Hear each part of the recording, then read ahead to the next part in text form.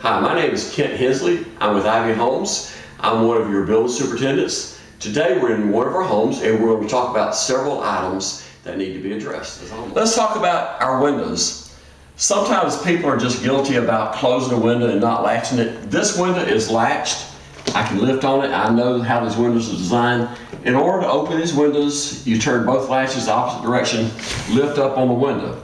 When a window is properly latched, it seals better and you do not get the air coming in and losing your heat and air in the home. In order to remove a, a screen or to clean the lower sash without having to go outside, there are tabs on the windows and you can pull these tabs in and that allows the window to lean out. Then you pull the, uh, the screen tabs in and you can bring the uh, screen from out inside. If you try to remove it from the outside, you will destroy that screen. To close this window, pull the tabs back in, gently put them back in place, lower it down, and lock the window. Now it's good and secure.